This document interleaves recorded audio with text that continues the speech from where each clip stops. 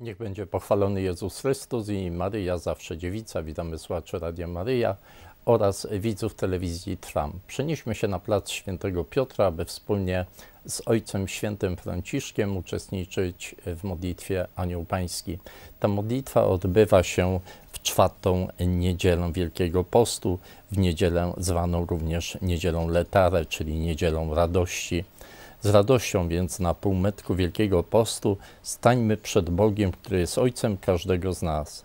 Przeżywamy rok miłosierdzia, a więc y, święty czas i pragniemy przylgnąć do miłosiernego Boga, powierzając Mu nasze życie, nasze troski i trudy, ale nade wszystko to, co sprawia nam radość. I dziękujemy za łaski otrzymane od Boga w minionym tygodniu, tygodniu Wielkiego Postu, i chcemy prosić w nadchodzącym tygodniu o y, błogosławieństwo Boga w tym czasie, czasie łaski. Ewangelia dzisiejszej niedzieli, Ewangelia, którą Kościół nam ofiaruje, mówi nam o tajemnicy naszego upadku, mówi nam także o tajemnicy niewierności Bogu, o historii odejść i powrotów, która dotyka każdego z nas słuchając słów Jezusa, próbujemy utożsamiać się to z jednym i to z drugim synem, bohaterami dzisiejszej Ewangelii. Bardzo rzadko pewnie udaje się nam rozpoznać w sobie pragnienie bycia jak miłosierny ojciec. Ale jeśli rozpoznajemy y, to pragnienie w sobie, podziękujmy Bogu za ten wielki dar. Albowiem miłosierdzie Ojca jest miłosierdziem wielkim. Ojciec bowiem szuka zagubionych dzieci i chcemy wielbić Boga za to Jego miłosierdzie. Tymczasem e, w oknie apartamentu papieskiego pojawił się Ojciec Święty Franciszek, który pozdrawia dziesiątki tysięcy zgromadzonych na placu Świętego Piotra pielgrzymów. Cari fratelli e sorelle, Buongiorno. Drodzy bracia i siostry, dzień dobry. Nel capitolo quindicesimo del Vangelo di Luca w rozdziale 15 Ewangelii Świętego Łukasza znajdujemy trzy przypowieści o miłosierdziu. Tę o odnalezionej owcy, tę o zagubionej drachmie jak i wielką przypowieść o synu marnotrawnym, albo lepiej o miłosiernym ojcu. Dzisiaj byłoby pięknym, aby każdy z nas, gdyby wziął Ewangelię i wziął e, ten piętnasty rozdział Ewangelii Świętego Łukasza i gdyby przeczytał te trzy przypowieści dziś wewnątrz planu drogi wielkopostnej, Ewangelia przedstawia nam właśnie tę ostatnią przypowieść, której głównym bohaterem, protagonistą jest ojciec ze swoimi dwoma synami. Opowieść pozwala nam odczytać niektóre cechy tego ojca. Jest to człowiek zawsze gotowy przebaczyć i mający nadzieję wbrew każdej sytuacji bez wyjścia. Przede wszystkim uderza jego wielka tolerancja wobec decyzji młodszego syna, tego, który chce odejść, dotyczącej odejścia z domu mógłby sprzeciwić się, wiedząc, że ten syn jeszcze jest niedojrzały. Zamiast tego pozwala mu odejść. Pozwala mu odejść, mimo że przewiduje niebezpieczeństwo.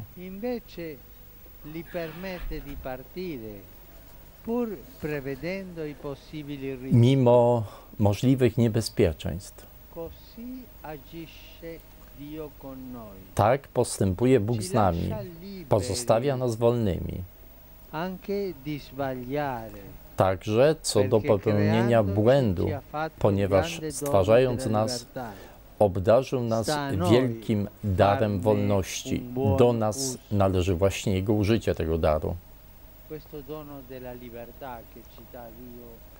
Ten dar wolności, który dał nam Bóg, jest darem ofiarowanym nam. Ale rozłąka z tym synem jest tylko fizyczna. Ojciec ma go zawsze w sercu i czeka z ufnością na jego powrót. Spogląda na drogę w nadziei zobaczenia go. I pewnego dnia go widzi zjawiającego się w oddali z oddali. To oznacza, że ten ojciec chodził i patrzył i spoglądał i oglądał drogi, że oczekiwał.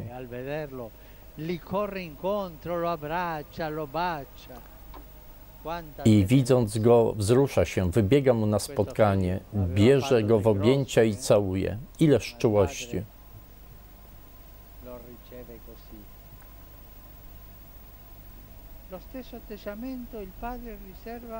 Tę samą postawę miał ojciec również wobec starszego syna, który zawsze był w domu. A teraz jest oburzony i protestuje, ponieważ nie rozumie i nie podziela całej tej dobroci ojca ku bratu, ku bratu, który zbłądził. Ojciec wychodzi naprzeciw także temu synowi i przypomina mu, że on zawsze był z nim razem, że byli zawsze razem i wszystko mają wspólne. Zatem trzeba przyjąć z radością brata, który wreszcie powrócił do domu, który powrócił do domu ojca. To mi przypomina jedną rzecz. Jeżeli ktoś się czuje naprawdę wielkim grzesznikiem, często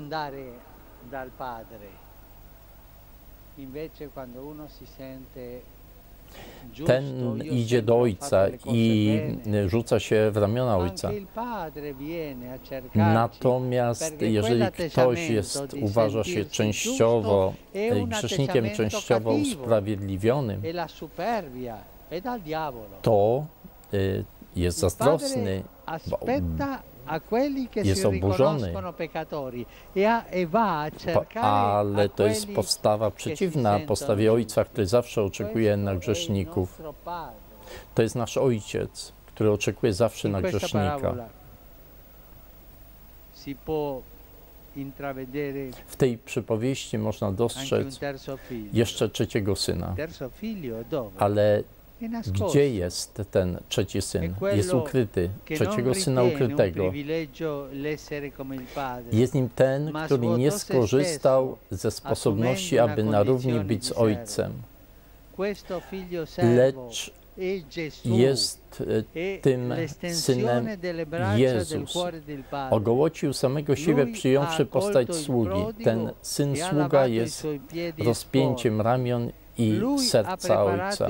On przyjął Syna marnotrawnego i umył Jego brudne nogi. On przygotował ucztę na święto przebaczenia. On, Jezus, naucza nas bycia miłosiernym jak Ojciec. Postać Ojca z przypowieści odsłania nam serce Boże.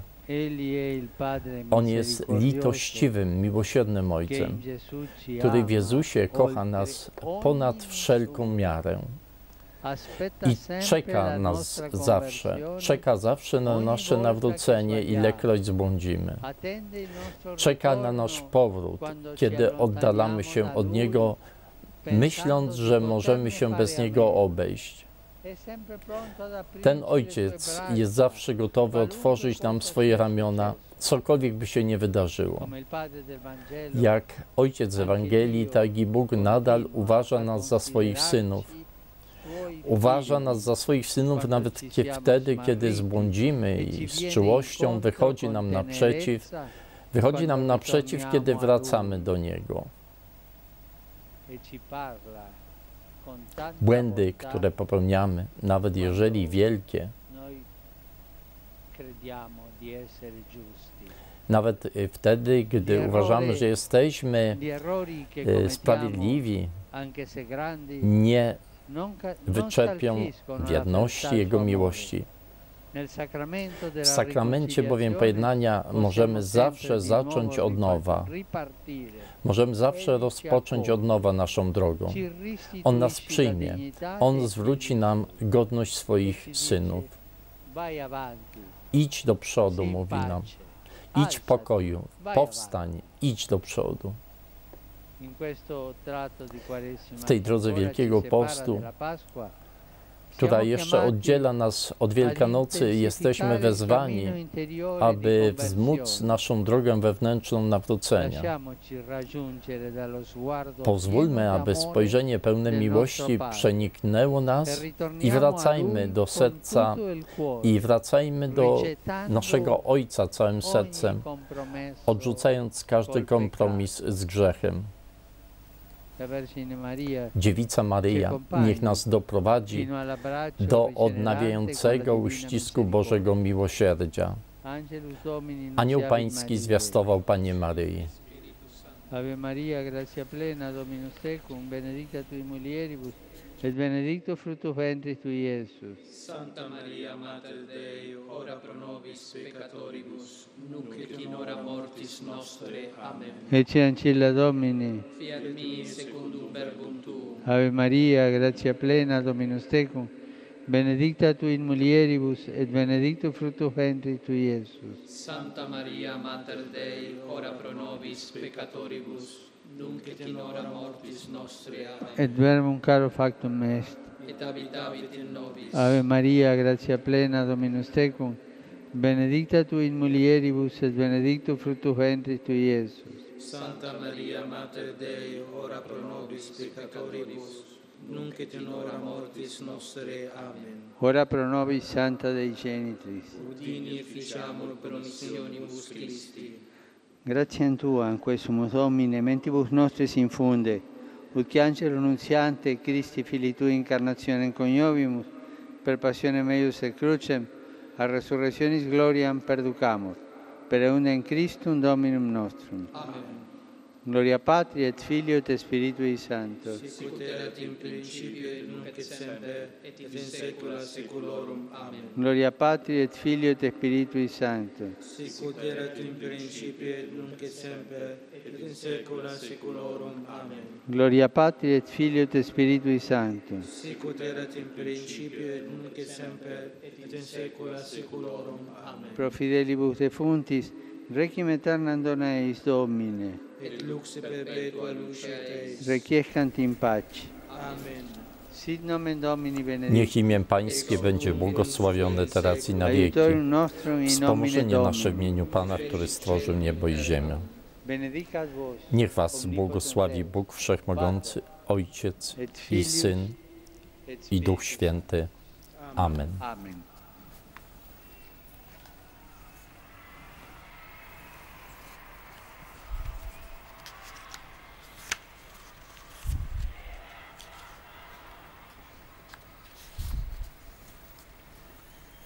Cari fratelli e sorelle, Drodzy bracia i siostry, esprimo la mia vicinanza wyrażam moją bliskość z siostrami misjonarkami miłości Matki Teresy z Kalkuty z powodu żałoby i straty, które je dotknęły dwa dni temu w związku z zamordowaniem czterech e, zakonnic misjonarek miłości w Adenie w Jemenie, gdzie siostry opiekowały się osobami starszymi i niepełnosprawnymi.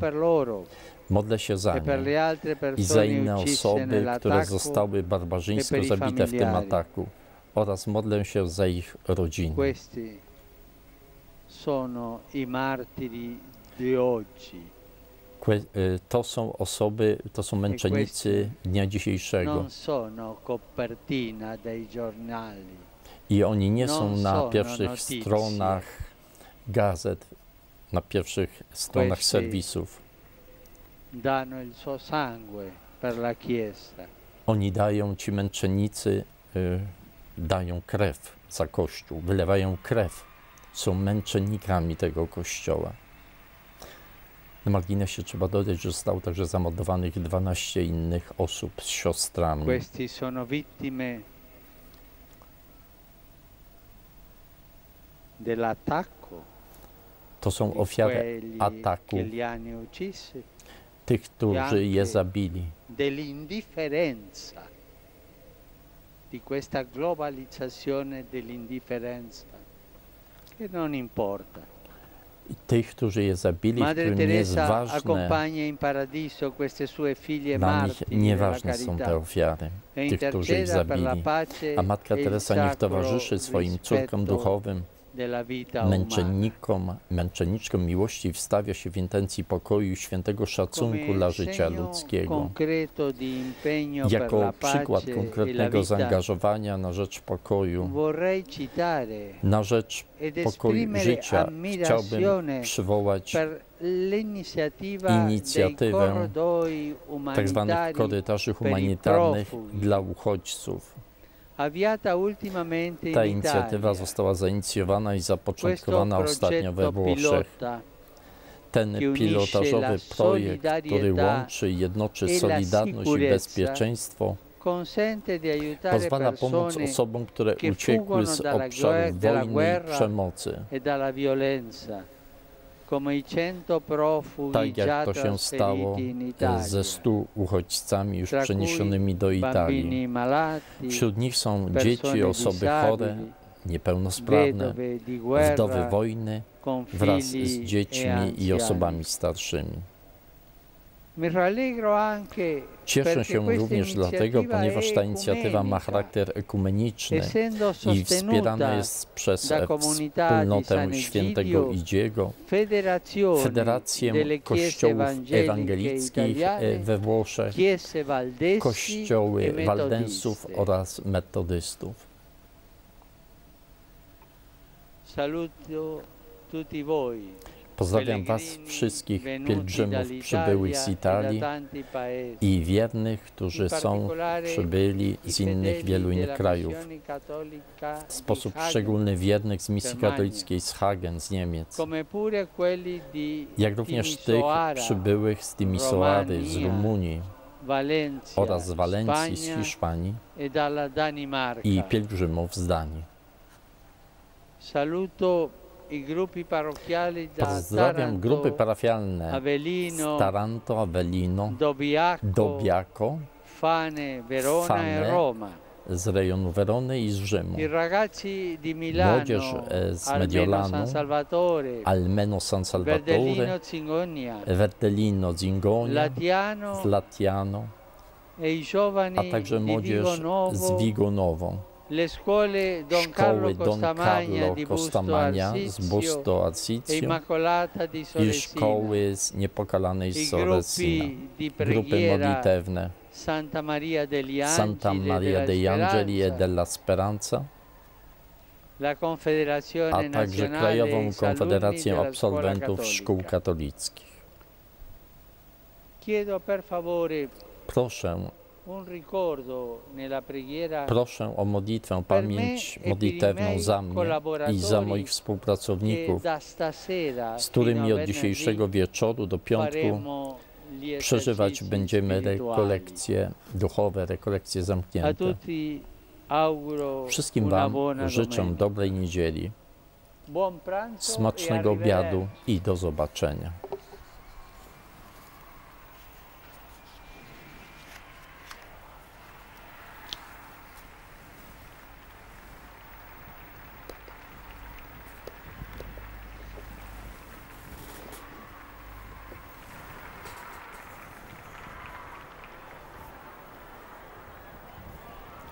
Słowami pozdrowień Ojciec Święty Franciszek zakończył e, dzisiejszą modlitwę Anioł Pański. E, Poprosił nas wszystkich również o modlitwę za siebie oraz za całą kurię rzymską, która rozpoczyna w dniu dzisiejszym swoje rekolekcje duchowe. Ja również pragnę życzyć wszystkim słuchaczom Radia Maria oraz widzom telewizji Trwam błogosławionego czasu łaski w tę czwartą niedzielę Wielkiego Postu. Dziękując, pozdrawiam. Niech będzie pochwalony Jezus Chrystus i Maryja zawsze dziewica. Żegna się z Państwem Ojciec Marian.